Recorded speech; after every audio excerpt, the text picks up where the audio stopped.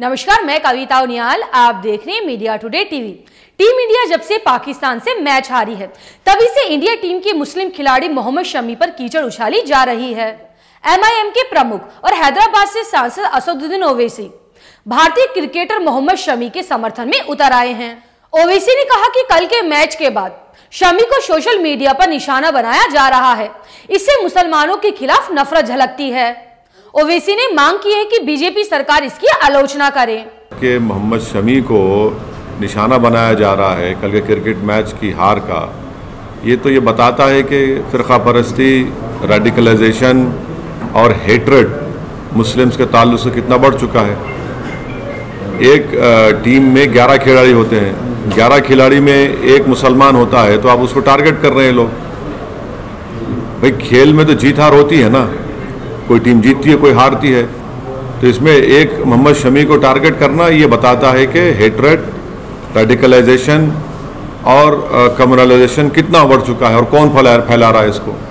ये तो जवाब देना पड़ेगा, क्या बीजेपी की सरकार कंडेम करेंगी उन लोगों को जो आज एक ग्यारह में से एक प्लेयर को जो सोशल मीडिया पे उसको ट्रोल किया जा रहा है, उसको अनाप शनाब उसके बारे में बकवास बका जा रहा है। शर्म की बात है, अफसोस की बात है। वो तो इंडिया की टीम के लिए खेल रहा था ना। रविवार को हुई टी वर्ल्ड कप मैच में भारतीय टीम को पाकिस्तान के हाथों करारी हार का सामना करना पड़ा। ओवैसी ने एक ट्वीट कर कहा कि शमी को कल के मैच के लिए सोशल मीडिया पर निशाना बनाया जा रहा है। इससे कटरता और मुसलमानों के खिलाफ नफरत झलकती है। क्रिकेट में हार जीत तो होती रहती है। टीम में 11 प्लेयर है, लेकिन एक मुस्लिम प्लेयर को ही निशाना बनाया गया।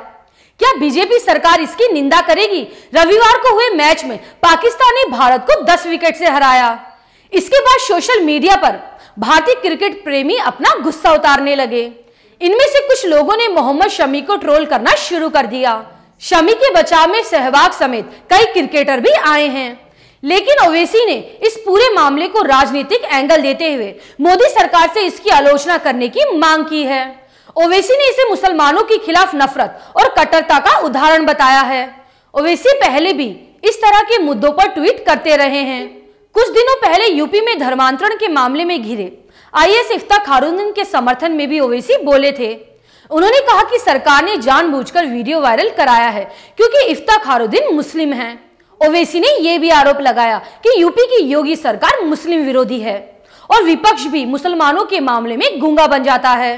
इस मुद्दे में जम्मू कश्मीर के पूर्व सीएम उमर अब्दुल्ला ने भी ट्वीट किया। उन्होंने सरकार पर निशाना ना साधकर टीम इंडिया से उम्मीद जताई कि वे अपने साथी का समर्थन करेंगे। उन्होंने लिखा कि मोहम्मद शमी उन 11 खिलाड़ियों में से एक थे जो कल रात मैच हारे। वो मैदान में अकेले खिलाड़ी नहीं थे। रविवार को इस मैच से पहले भारतीय टीम ने मैदान में रंगभेद के खिलाफ घुटने टेक कर एकजुटता दिखाई थी। वीरेंद्र सहवाग ने इस मसले पर सोमवार को भारतीय तेज गेंदबाज शमी का समर्थन किया। सहवाग ने ट्वीट किया कि शमी पर ऑनलाइन हमला करना हैरान कर देने वाला है। हम उनके साथ हैं। वो चैंपियन है और जो भी भारत की कैप पहनता है, उसके दिल में भारत किसी भी ऑनलाइन भीड़ से ज़्यादा होता है। मैं आपके साथ हूँ शमी। अगले मैच में दिखा दो जलवा।